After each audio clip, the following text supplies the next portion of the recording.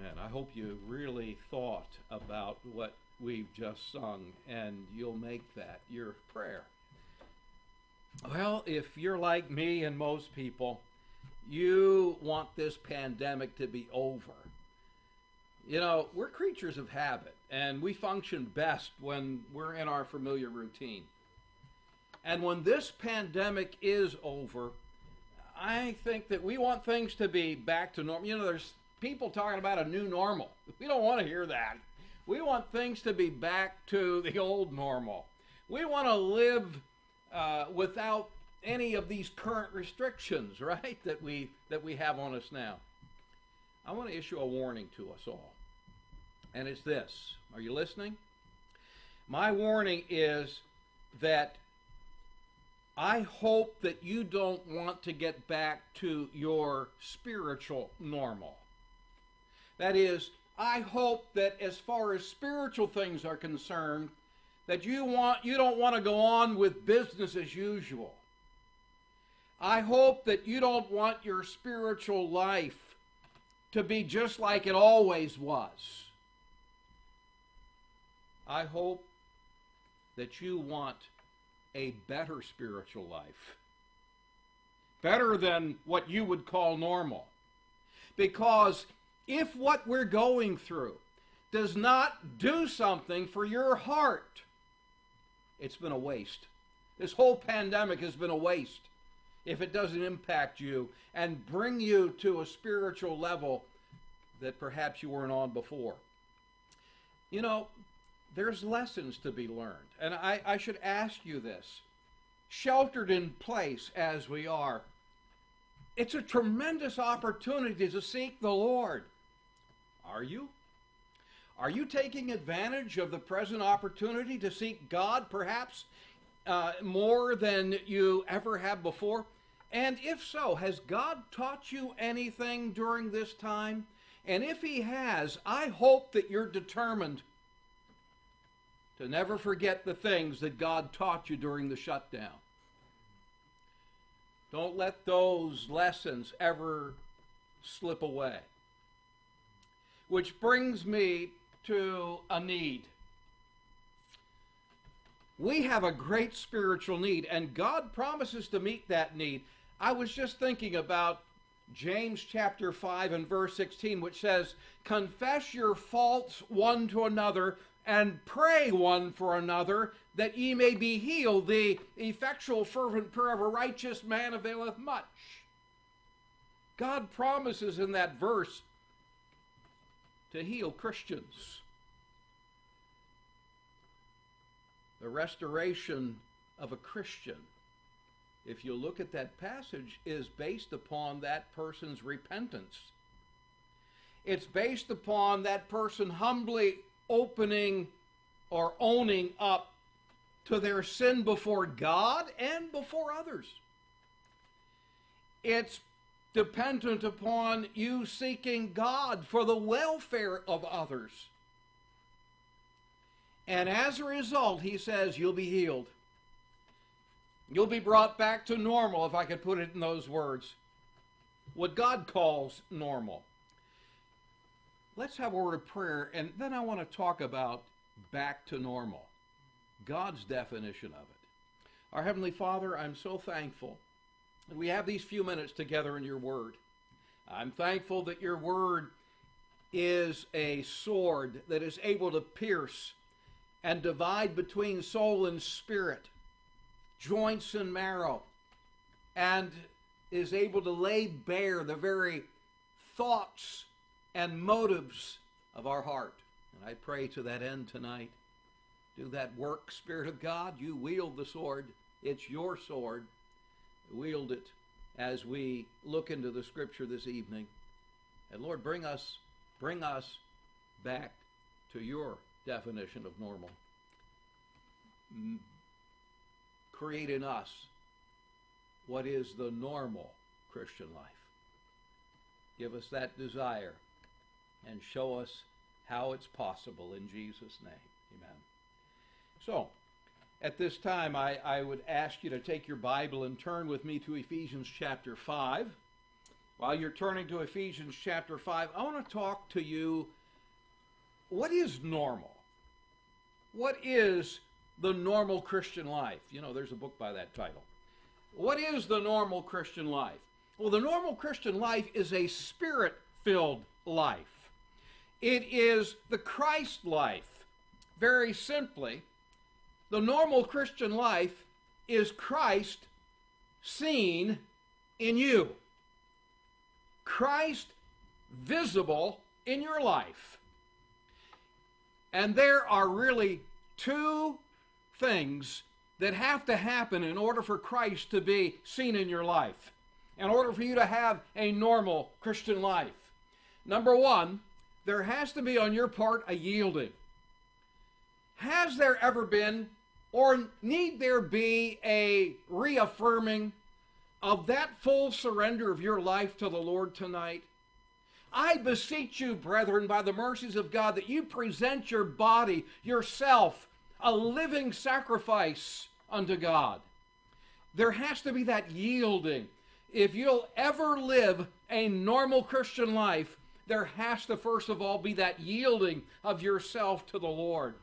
That you, as Peter says, that you sanctify the Lord in your heart. That is, that you set Jesus as Lord of your life.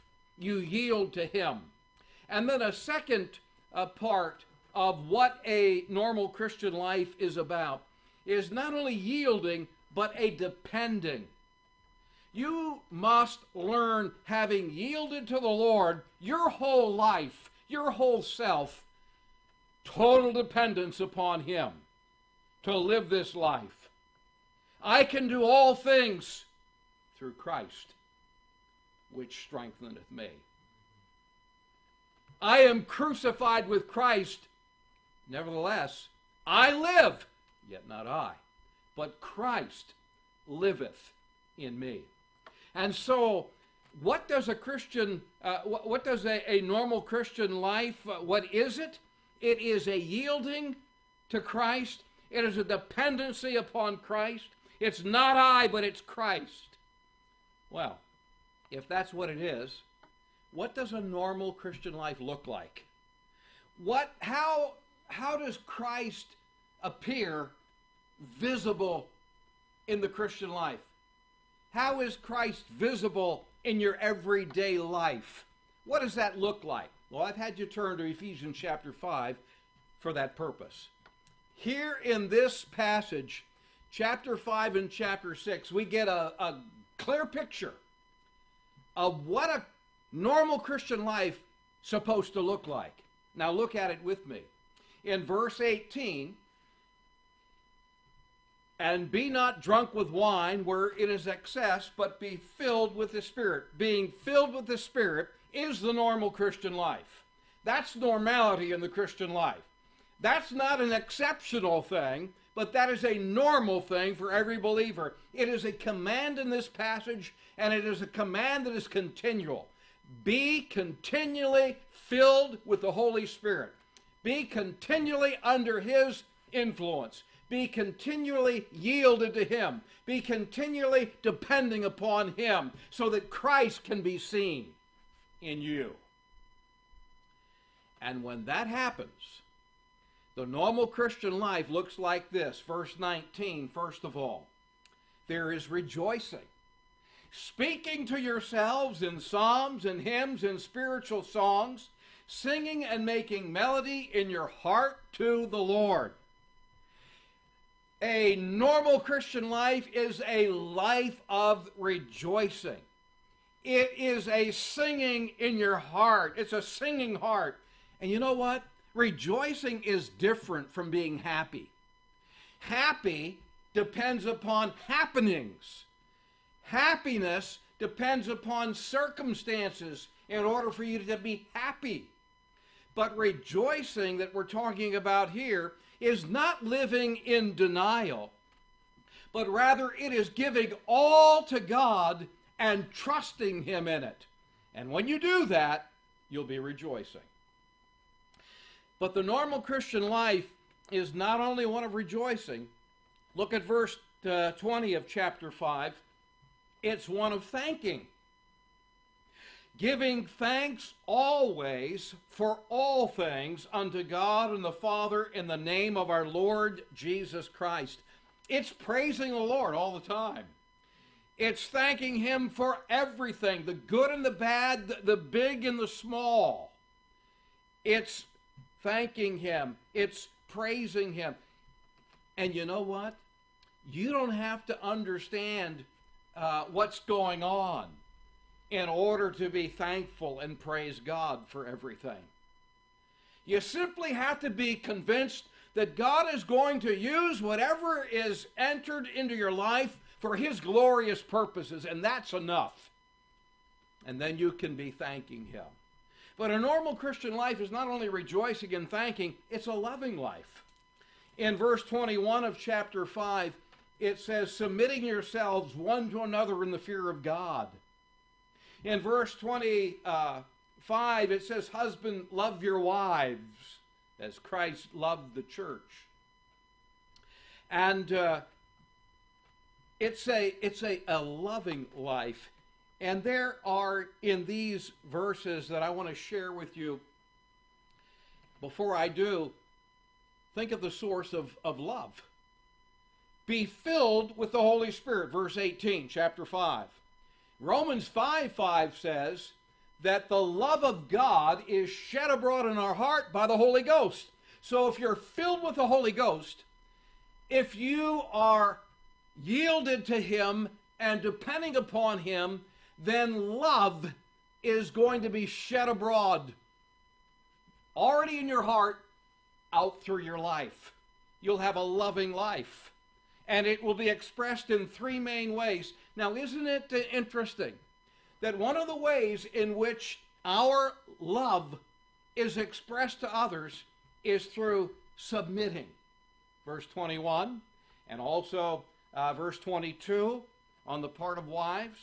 But verse 21, submitting, obedience.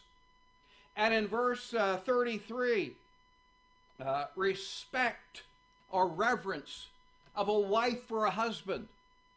Obedience and respect. And chapter 6 and verse 2 children, honor your father and your mother. And so submitting is an expression of love. You express your love by submitting. As a, a wife submits to her husband, she expresses, her, as she respects her husband, she expresses love. As a child obeys their parents, they express honor. And that's love.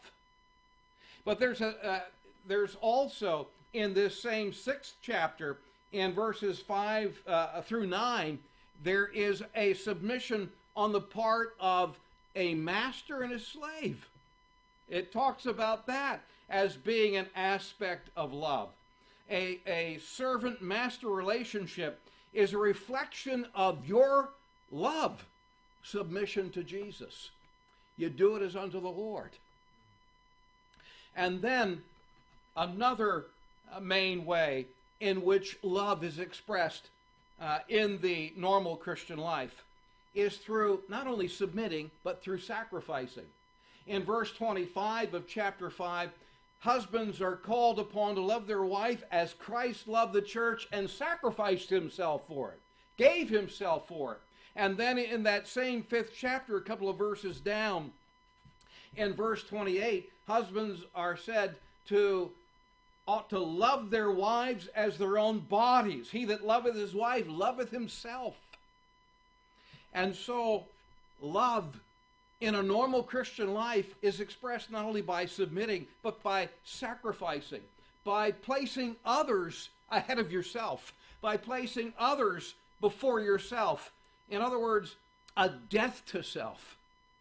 You can't love others until you die to self. And by the way, nowhere in the scripture are we told to kill ourselves, to crucify ourselves.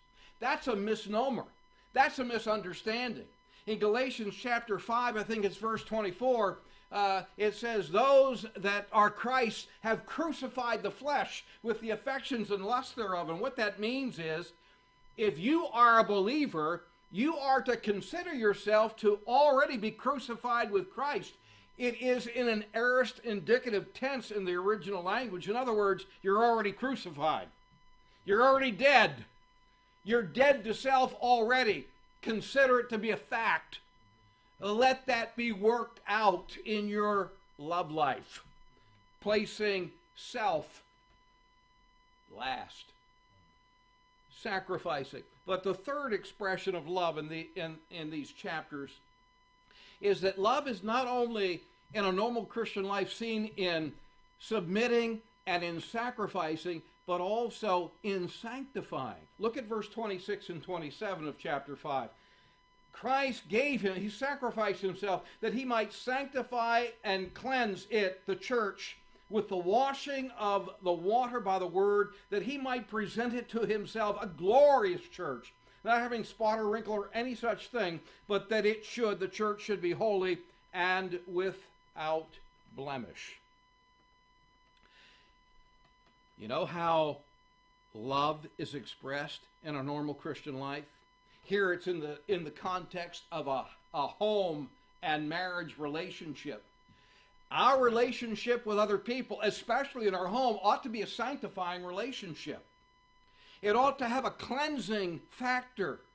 It ought, we ought to be a cleansing influence in our relationship and especially in our home.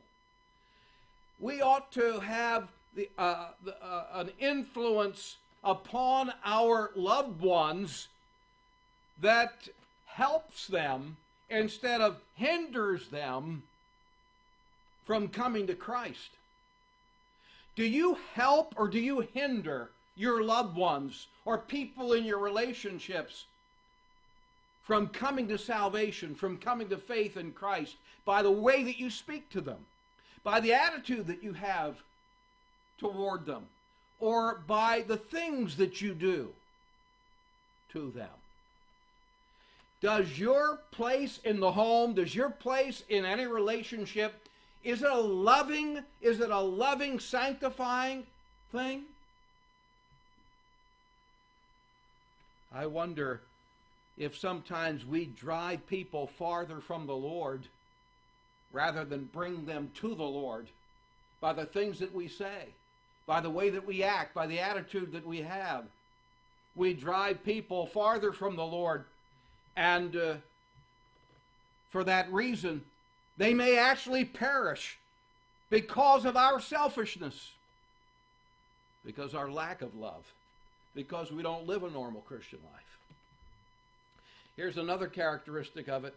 Chapter 6, if you'll go with me to verse uh, 11, he says, Put on the whole armor of God that you might be able to stand against the wiles or the tricks, the schemes of the devil. For we don't wrestle against flesh and blood, but against spiritual entities. Spiritual wickedness in high places in the heavenlies. So take on the whole armor of God, he says. You know what the normal Christian life looks like? It's a winning life. This is all about victory over the enemy.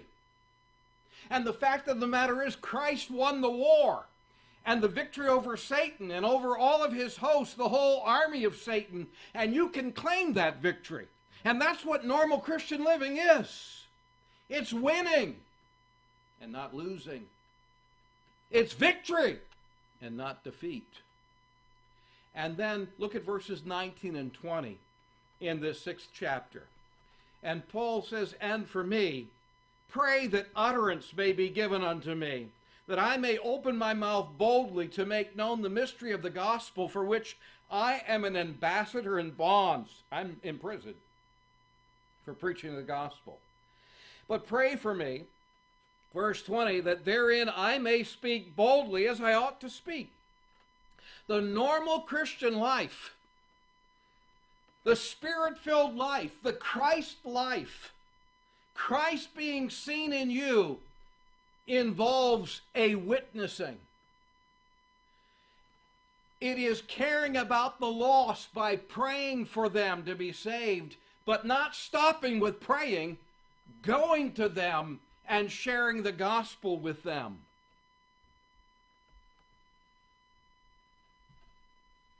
when He tells you to. You pray for someone, maybe the Lord's saying, okay, you've prayed enough for that person. Now go tell them. Go share the gospel with them. Enough praying. I've heard you. I'm with you. Now go share the gospel with them. Don't shirk that responsibility. If you really care about people, if you live the Christian life that's a normal Christian life, a spirit filled life, you'll be witnessing. You won't be closed lipped. You won't be uh, afraid to share the gospel. You'll have spirit boldness to do so. I guess to sum it all up, is that uh, a normal Christian life is a life that is resting. I hope you don't misunderstand me, but here's what I mean. Stop trying to live the Christian life and let Jesus, who is already in you if you are a believer, live his life through you as you. That's normal Christian living. There's a lot of discussion about the new normal when this pandemic is over. Well, the kind of living that we've just considered may be a new normal for you. But it's the only life that makes sense in the light of eternity. And I want you right now to determine that you're going to get back to normal and make Jesus your life. Let's pray. As we bow our heads to pray this evening, before we do so, I want you to think seriously in your heart do you really know Jesus as your personal Savior? I'm not asking you if you know about Him. I'm not asking you if you know a lot about the Bible. I'm just asking you if you have ever come to recognize that you are a guilty sinner before God and your only hope is to believe upon and receive Jesus and what he has done for you when he paid your sin debt in full on that cross. Have you ever invited him into your heart to forgive your sin and to be your Savior? If you haven't, none of this applies to you. You need to be saved.